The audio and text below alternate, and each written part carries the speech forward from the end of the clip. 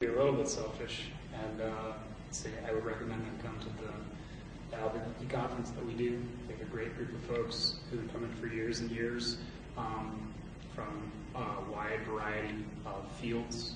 We not only have scholars, but we also have designers that come. Um, This is the American Culture Association, Popular Culture Association conference. Yeah, SW Southwest Popular and American Culture Association. That's good. Um, and uh, it's uh, a very collegial and uh, supportive group of folks, very welcoming. Um, we had a range of people from you know, beginning graduate students to deans uh, and everyone in between. Um, and uh, folks are not only collaborative and convivial, but um, they really are committed. So everybody goes to every session and really works hard to, um, sort of collectively to, to, to have a dialogue. And then um, it's a fantastically productive, uh, productive group.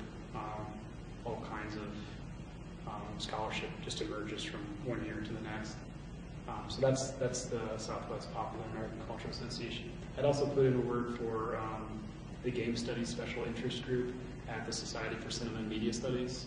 It's a great group. It's another area where you can you know rub shoulders with the with folks that you that, that are are sort of the elder statesmen and women of the field, like uh, uh, Mark Wolf is sort of the, the main organizer there. Um, but you can also um, see graduate students presenting their papers for the first time. So it's a nice mix, like the Southwest Popular American Culture Association, and everybody's so supportive and interested as well. Um, yeah, kind of along those lines, but more on the professional side, I'd recommend uh, if you can find one near you, a chapter, a student chapter, say, of the International Game Developers Association, the IGDA. Uh, that's a great uh, connection to make because uh, Judd mentioned the study, teach, build, kind of philosophy that we have in LGI. Um, the IGDA is a place where you can definitely get the build part, um, and you'll have people in that chapter.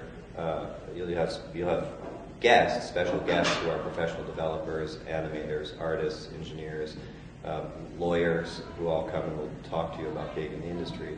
Um, but they'll also have student designers and faculty who are uh, in those areas too. So you'll really get a sense of what it means to build a game, which is actually a very different thing than uh, from studying a game. These are two very different experiences of the very same thing. Um, so I'd highly recommend that. And the other thing is, I think we'd probably agree on this, is you should play games. Um, one of the things that we see uh, when we uh, when we uh, are editors of journals and we're reading a lot of uh, manuscripts that have come in, when we're reviewing grant applications, when we're uh, hiring interns, when we're at conferences, is that uh, there's a very discernible sort of level or set of levels of people who are here, including faculty. Um, uh, and the ones who are almost, or who are always at the top, uh, the top tier, the, the best performers, the most interesting research, um, the best teachers are the ones who uh, come in and they say, I play games, I don't apologize, I play a lot of games. Um, and I think uh, that's uh, probably the best and maybe even the easiest way uh, to begin career or at least a, a period of your professional life as a game scholar is actually to play a lot of games. Get a sense of the diversity. Uh, maybe you've only played RPGs. Uh, great, you're good at RPGs. Go play some resource management games. Uh, play some business games, serious games, uh, platformers. Shooter. Yeah, um, you know, build up your, your experience. That's what we that's what we do. That's how we learn about what is out there.